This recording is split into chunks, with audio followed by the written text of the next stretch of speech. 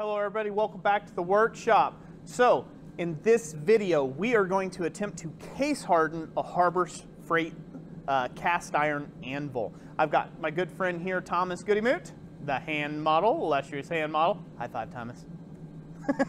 there we go. And we have bought another Harbor Freight anvil in to be able to basically destroy. If you haven't watched the other video where we actually attempted to quench a Harbor Freight uh, cast iron anvil and see if we could get any hardness, I suggest you check out that video. It'll be linked up here or down in the description. So without further ado, let's just get right into this and see if we can make it go.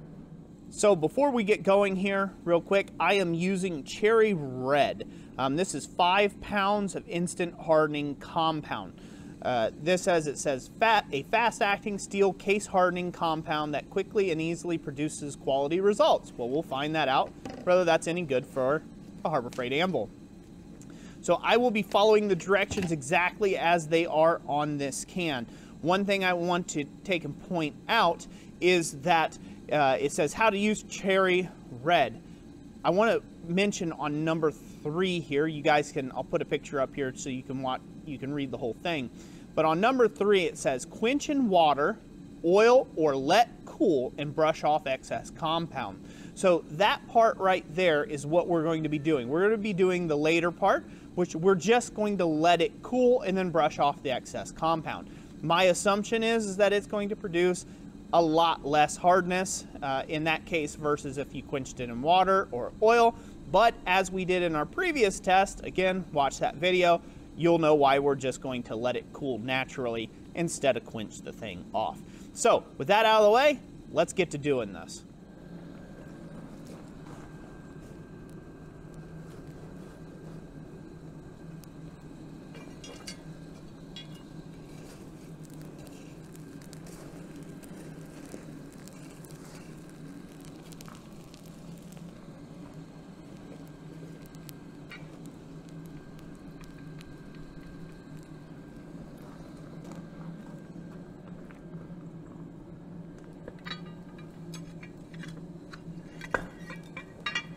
Oh, watch it, it's coming back this way. There we go.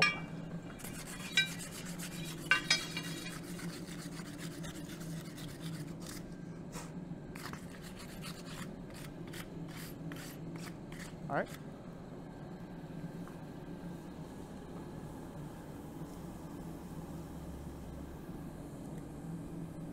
This should go without saying, you need to do this in a well ventilated area.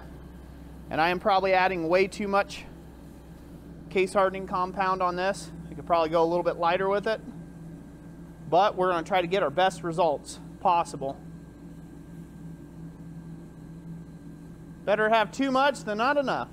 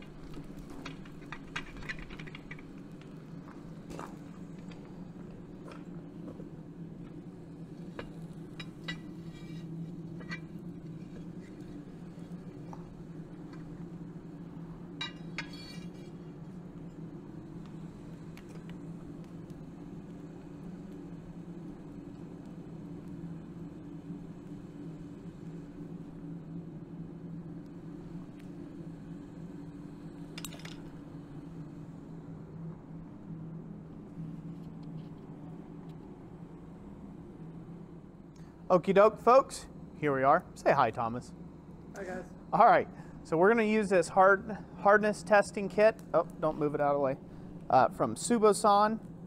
Um, this one you guys seen in the previous video. You can check the link for that down in the description down below, the Amazon affiliate link, if you will. But this tests all the way from 40 HRC all the way up to 65 HRC. And we are going to go ahead and test to see whether our case hardening actually did anything or not. We did wire wheel the top of this anvil. Um, it hasn't gotten shiny. Now, I haven't ground this because if you grind it, I'm not really sure how far that case hardening compound goes down uh, into the actual surface. So you might just grind it all away there. Uh, so we want to do as true to testing as we can. So we're going to test it over here on the horn first, Thomas, with 65 Rockwell. Bites right in. Yeah, it bites really nice and hard. And now we're going to test it right across the face. And it's biting. Okay, it bites really good into the face. Let's move on to 60 Rockwell. Of course, we know the horn's soft. The horn will be probably about 40 Rockwell. So again, we didn't try to harden this horn. So let's just focus on here now. Bite. Yep, it bites right in, as you guys can see there. Let's go ahead and do 55.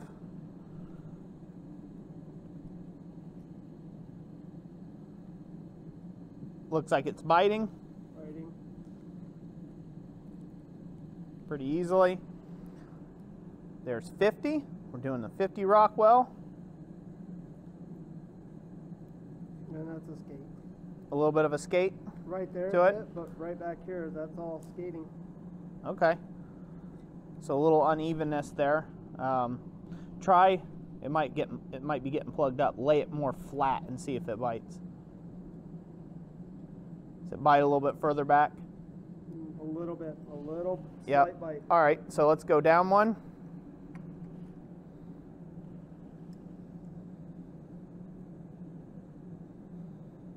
It's making scratches, but it but it looks like not- it's skating and pretty good. So.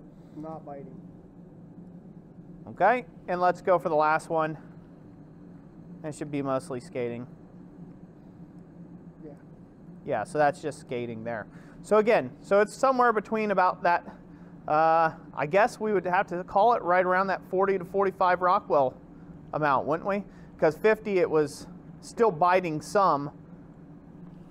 And again, this is all subjective a little bit. You might press bites. down harder and you can bite. It might bite in. Again, I don't know how deep that surface hardness is. But again, so it's between 40 and 45 Rockwell.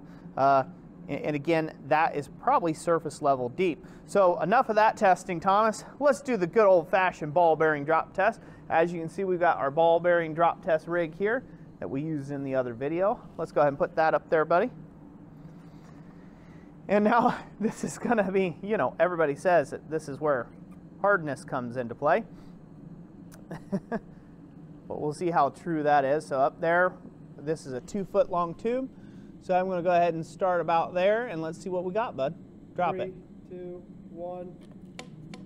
Ooh, not good. All right, we're going to drop it again.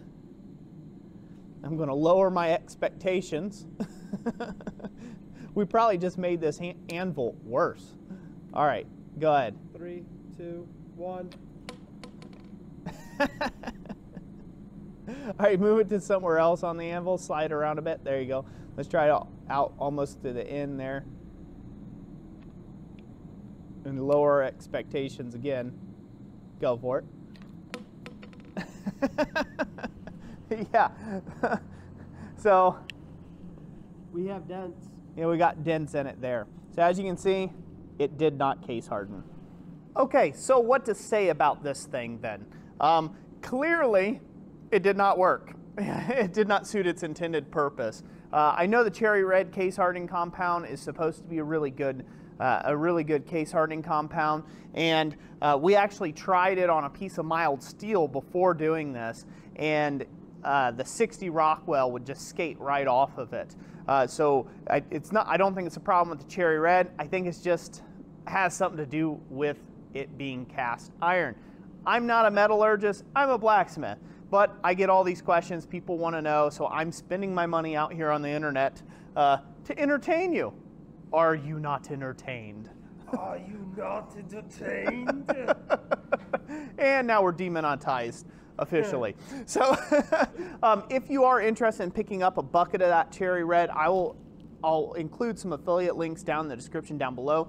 Over on Amazon right now, they're about 50 bucks for a pound of the stuff. Uh, I didn't even use anywhere close to a pound. It's really lightweight, almost like a talcum powder. You guys saw it in the video.